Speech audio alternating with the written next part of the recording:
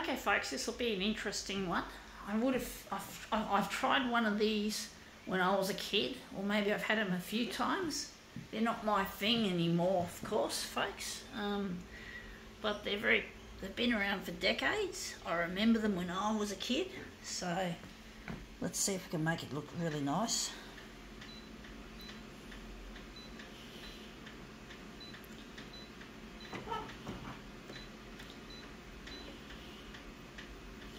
It's getting hot now. It's not hot like yesterday on 40 degrees, but it feels hot because it's just been, the unit still retains some of the heat from yesterday.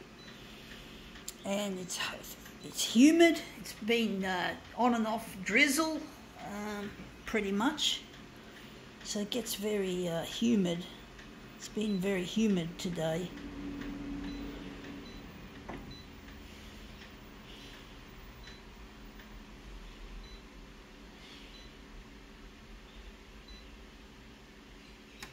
Okay, let's see what this is. Uh, I do think maybe a uh, background colour, so it's a Melody Pop wrapper. So you all remember Melody Pops, folks?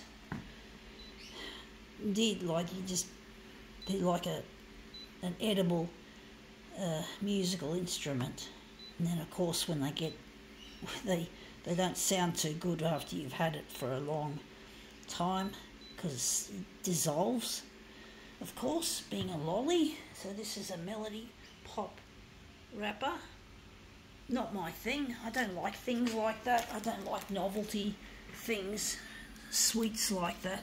But they tasted quite nice. I think I remember they're like a red, a red sort of a lolly.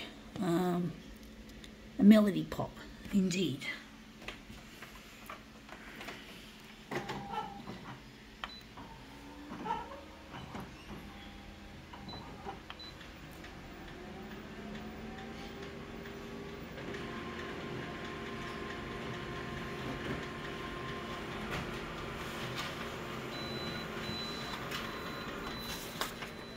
Yeah, that's come up colour wise, it's come up looking really quite nice. Um, interesting. Still looks a bit uh, a bit low contrast. I think it's a bit too too much yellow in it there. Um, melody pop, indeed, melody pop.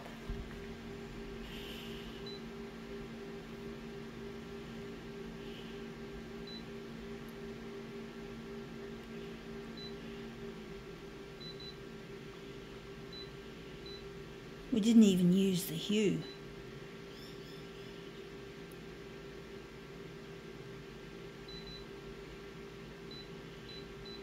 I think we used too much red in this.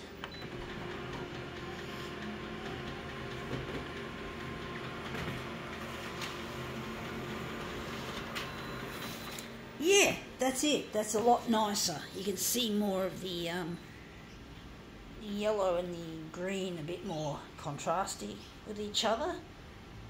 So we're going to make this into a movement piece. But yeah, melody pops. Who could ever forget those? And now they're, they're made by uh, there's Chupa Chups and Perfect Perfetti. But yeah, this is indeed it's just another form of um, these don't get advertised very big they're just in the shops. I do think they're not really a very um, householdy name. They're not really trendy sorts of uh, confectionery like other confectionery products that you see on the market, like warheads and shit. Not that I. Oh, look, I forgot to adjust the colour balance to its usual amount. Maybe that was a good thing I made. But basically, yeah. Um,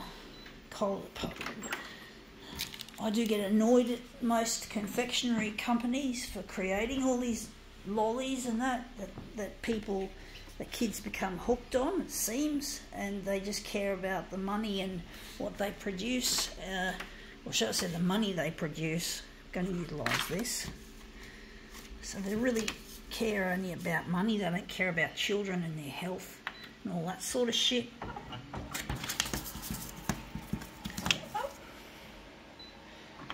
But Chops are popular. You get the Chupa Chups uh, lollipops and shit. But I do see most marketing as child abuse. I don't see it as anything legitimate. I do see it as child abuse when these confectionery companies try to make a huge dollar out of children's uh, love of their product. And yeah, it does. It annoys the fuck out of me, folks. It really does. It really pisses me off the way that these companies just want to make money. They don't care about the health of the children or the health of the or the parents, how they cope with um, having this shit forced onto kids, and kids wanting to have keep pestering their parents to buy their lollies. You know, pester power. There's a lot of pester power in in confectionery uh, marketing. Uh, that's what it, it, depends a lot on. It, children become marketing pawns uh, for these companies, and it really is quite a cruel and diabolical way to sell a product, and the products are not healthy, and some some of them can be downright hazardous, like the um, what do they call them? Brain lickers.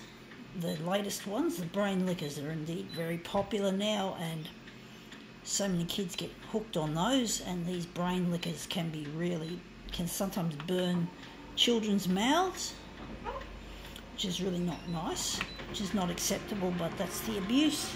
So that's how abusive these companies can get. They don't care about the children, they just care about their fucking money. That looks too dark. I don't know why it's so dark. I thought I lightened it up. Unless I forgot to take the. Oh, shit, I get so annoyed at this shit. Um, yeah, it's too dark here. That's why. I knew that was the case. I think I accidentally pushed a button here somewhere. I don't know, folks. These buttons can be a real pain. So fucked. Um, so yeah, I just get so annoyed at the way these products are marketed to children and aimed at them and advertised at them. And that mum and dad are powerless to stop the pestering that the children have until they get what they fucking want and this is it. You know, they they end up just being marketing pawns. And it is a cruel industry, folks. It is a very, very, very cruel industry as a as a consequence.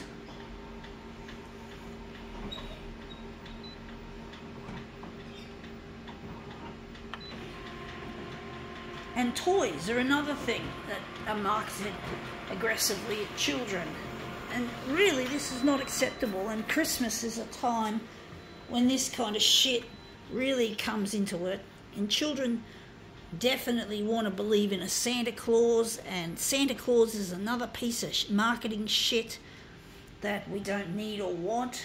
Yeah, what am I doing wearing one of these? Well, I don't know, just being trend, being festive, I suppose, but it's become such a staple to wear a fucking Santa hat or a fucking elf's hat, and even I'm doing it.